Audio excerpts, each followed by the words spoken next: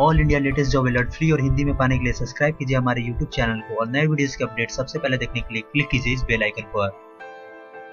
नमस्कार दोस्तों, मैं ओम प्रकाश सिंह। स्वागत है आप सभी का एक बार फिर से मेरे channel all in one OP तो दोस्तों, आज हम बात करेंगे यूपीएससी में भर्ती के बारे में। तो यहाँ देख सकते हैं, मैं फ्री जॉब अलर्ट की वेबसाइट पे हूँ और यहाँ मैं ऑल इंडिया गवर्नमेंट जॉब पे क्लिक करता हूँ। तो जैसे ही मैं नीचे आऊँगा दोस्तों, आपको यहाँ पे देख लीजिए, सबसे ऊपर में यूपीएससी में छब्बीस तारीख को ये नोटिस निकला है जिसपे की दोस्तों इंजीनियरिंग सर्विसेज़ में टोटल फाइव पोस्ट में भर्ती है। चलिए हम यहाँ पे गेट डिटेल पे क्लिक करते हैं और इस भर्ती के बारे में पूरा जानकारी लेते हैं। तो आप यहाँ देख सकते हैं दोस्तों कि ये यूपीएससी में इंजीनियरिंग सर्विसेज़ में भर्ती निकला हुआ है, जिसका कि नोटिस जो है 26 तारीख को निकला और यहाँ पे टोटल पोस्ट 581 है।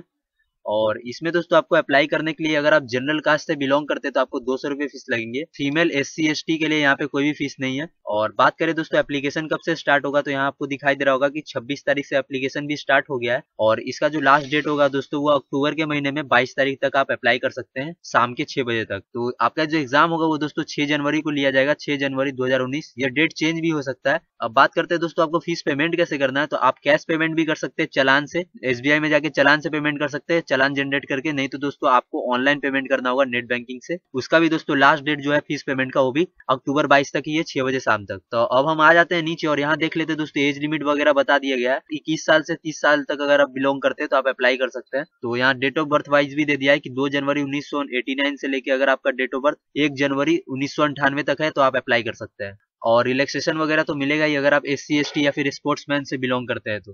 तो अब हम आ जाते हैं नीचे और यहाँ मेन चीज़ देख लेते हैं कि भर्ती किन पोस्ट पे है। तो चलिए पहले नोटिस को खोल लेते हैं। नोटिस में ही सारी जानकारी हमको मिलेगी। तो यहाँ पे हम क्लिक करते हैं क्लिक हियर पे। तो आप यहाँ देख सकते हैं दोस्तों, ये यूपीएससी का ऑफिशियल नोटिस है तो मैं इसको जूम कर लेता हूँ। तो यहाँ पे दोस्तों आपको सारे इन्फॉर्मेशन मिल जाएँगे तो आपको इस नोटिस को पहले अच्छे से पढ़ना होगा। ये तो ये नोटिस थोड़ा सा लंबा है। तो यहाँ पे आपको दोस्तों वेबसाइट बता दिया गया कि किस वेबसाइट से आपको अप्लाई करना है। अब हम आ जाते हैं थोड़ा नीचे।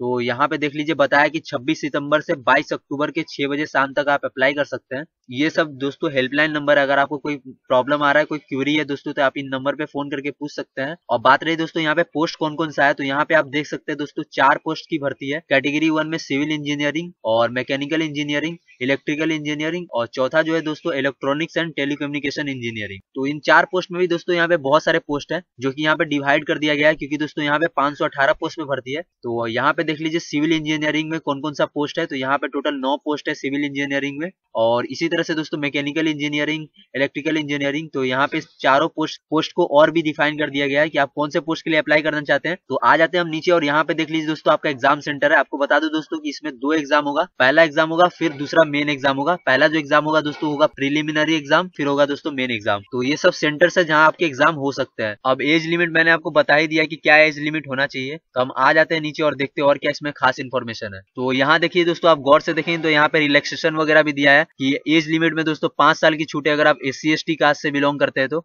और तीन इयर्स की छूट है अगर दोस्तों अगर आप अदर बैकवर्ड क्लासेस से बिलोंग करते हैं तो तो अगर आप स्पेशल कैटेगरी से बिलोंग करते हैं तो आपको रिलैक्सेशन तो लेना ही चाहिए। अब यहाँ देख लीजिए दोस्तों क्वालिफिकेशन वगैरह दे दिया गया है कि आपके पास क्या क्वालिफिकेशन होना चाहिए अप्लाई करने के लिए। तो यहाँ पे देख लीजिए दोस्तों मिनिमम दोस्तों आपके पास इंजीनियरिंग का डिग्री तो होना ही चाहिए। तो आप जिस पोस्ट के लिए अप्लाई कर रहे हैं डिग्री आपको उसी के हिसाब से मांगी जाएगी। फ़ीस मैंने आपको बता दिया कि आपको दो सौ रुपया लग रहे हैं अगर आप जनरल कास्ट से बिलोंग करते तो। और यहाँ पे फीमेल एस सी वालों के लिए यहाँ पे छूट है। तो बस यही था आज का वीडियो। तो वीडियो अच्छा लगा हो तो लाइक तो करिएगा ही। और इस चैनल में मैं हमेशा ऐसे वीडियो अपलोड करते रहता हूँ जो की जॉब के रिलेटेड होते हैं। इसलिए दोस्तों, मेरे चैनल को सब्सक्राइब करना बिल्कुल भी मत भूलिएगा और साथ ही नोटिफिकेशन बिल पे भी क्लिक कीजिएगा। तो चलिए दोस्तों, मिलते हैं नेक्स्ट वीडियो में। जय हिंद, वंदे मातरम।